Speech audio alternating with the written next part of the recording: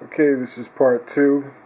Uh, V450 D01 2702 receiver gyro setup for the uh, 2801 Pro radio.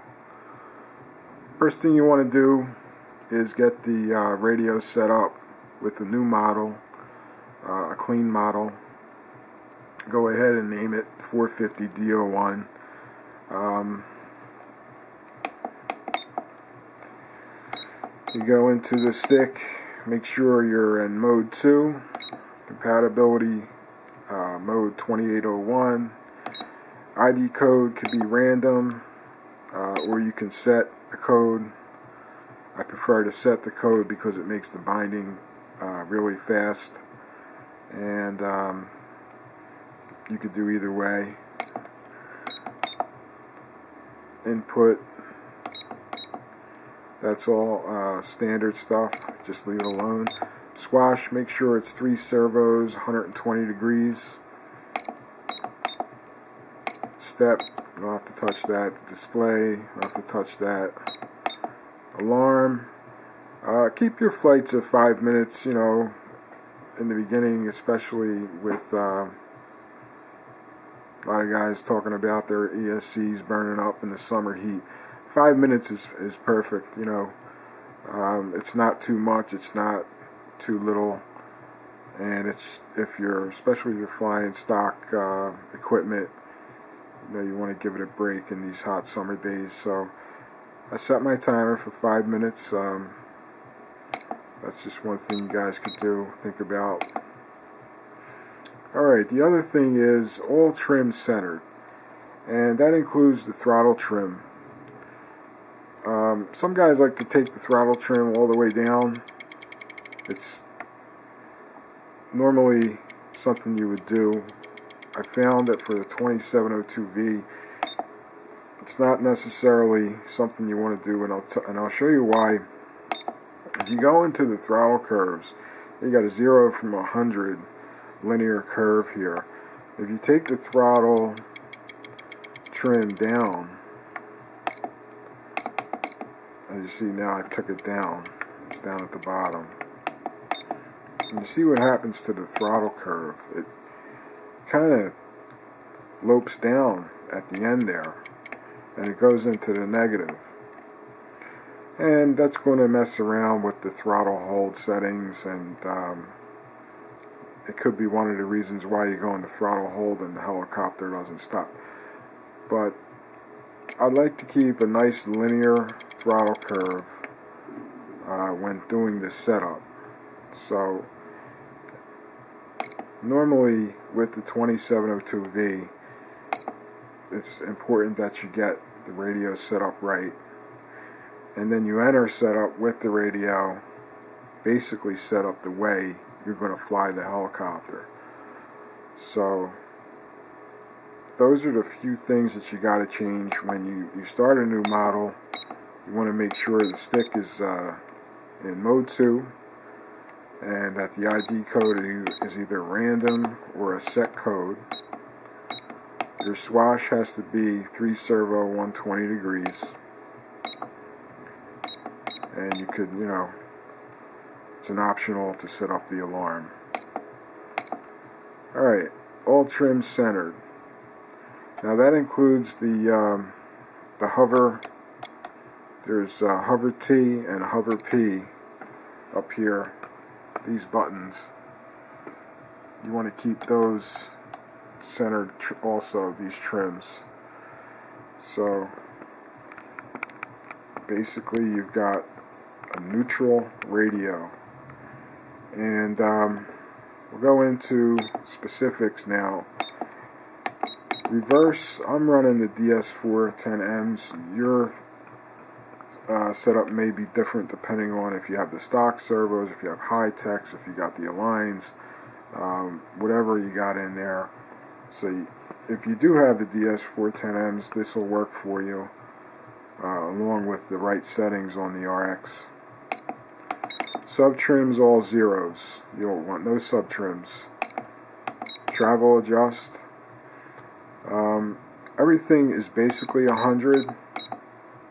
I have my throttle high and low settings um, endpoints a little uh, tweaked a little higher and that's because I'm running the Castle Creations and I have to um, configure my endpoints for the ESC for governor mode but suffice to say if you're running a stock setup you could just use 100% rudder you can change this to 120% on each side.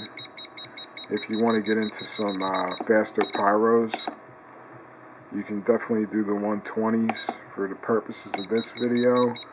And the basic setup I'm going to keep it at 100 um, but if you do want a faster pyro with the V450 that's something you can do. Okay so everything else flat 100 and that's um, that's pretty much it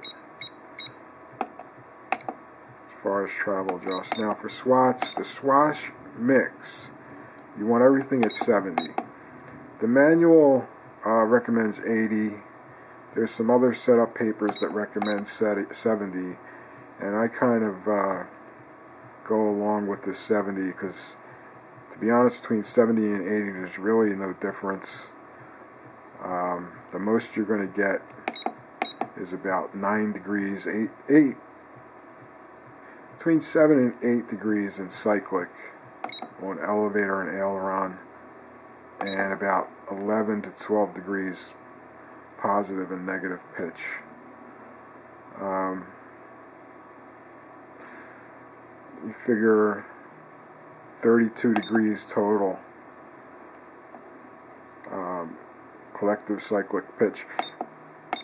70 is good enough. If you want to go 80, that's fine too. I use 70 uh, that's what works for me.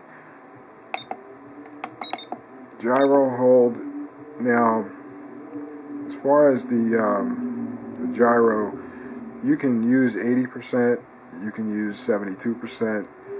Um, 80's kind of high. It does put a lot more stress on the tail servo, so I choose 75 right in the middle. At some point, I'll probably lower this to uh, 72 and live with that. So, you know, like I said, you can use 80, it's, it's up to you. Anywhere between 70 and 80. Uh, the 20 is for rate mode, and that's good for when you're setting up the helicopter. You could just hit the aux2 button, and it'll put your tail in rate mode, and you won't stress the servo out. Uh, it'll keep it centered. You know, so it's a good thing for uh, using setup and things like that. And you can flip that in and out of rate mode um, wait, throttle hold.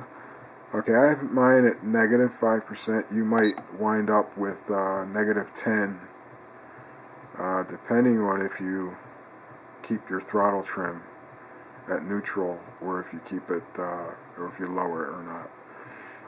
If I lower my throttle trim, that number will probably go higher. So, dual rate and expo. Okay, so for elevator, I got 100% rates. I've got 45% expo. It's kind of high, but that's, like I said, this is a good general setup to start out with, and then you can feel your way through and lower it at some point. Uh, the rudder, full, you know, 100% rate and 35%. Now, ST1, 2, and 3, they come when you start a new model, it'll come out inhibited. Um, go back to that. You want to activate them. And what this does is, when you click into ST1, right now I'm going to flip the ST1 switch, and it, what it does is it carries over my um, position 0 uh, rates into position 1 rates and position 2. So otherwise, if you have those disabled, and I go into my ST1, you can hear the button clicking and there's nothing happening. So basically, if you don't um, activate those, you're only going to be setting up your um, dual rates for normal mode.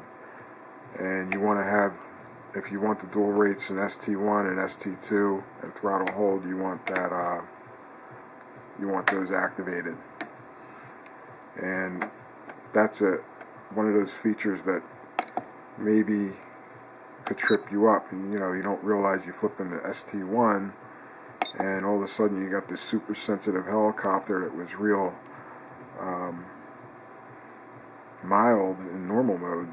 So be sure that you got that set right. Okay throttle curve is linear. We went through that. Nice 0 to 100 and there's nothing no funny business with that. It's not below like if I had the throttle trim all the way down it would be at negative 15 nice um, linear throttle curve. Uh, for ST1 90 90 90 90 all the way across ST2 100 across. And that's basically it with that. Pitch curve you go from you go into normal mode. You can start out at 50 um, 58 68 78 actually these are wrong. Let me set the right ones for normal. Um, for normal you're going to start out with 36 again you can tailor these to your specific needs. I mean this is a little aggressive for normal mode for a beginner. If you're a beginner start off with 50 50 and 50 you could actually make those first three numbers 50 75 and 100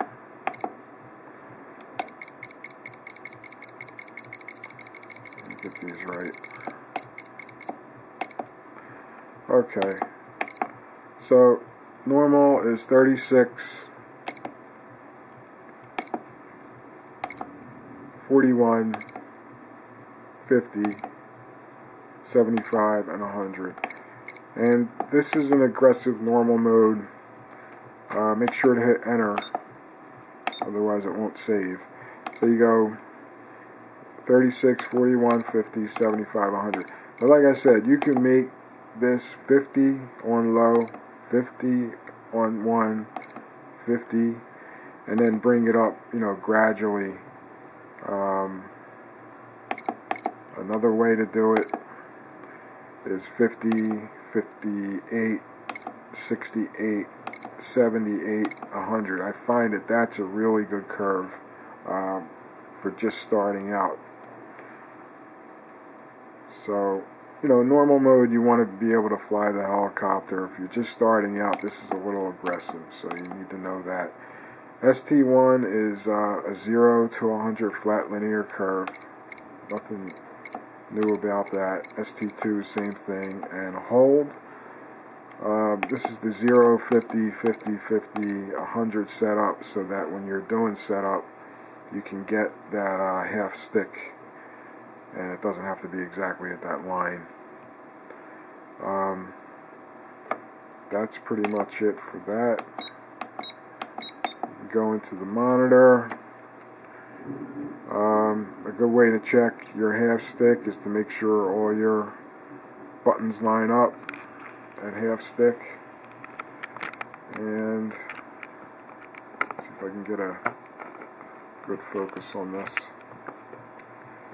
So use the monitor to make sure you get equal movements, things like that. And uh, that's it. It's good to take some time out to get the radio set up uh, properly.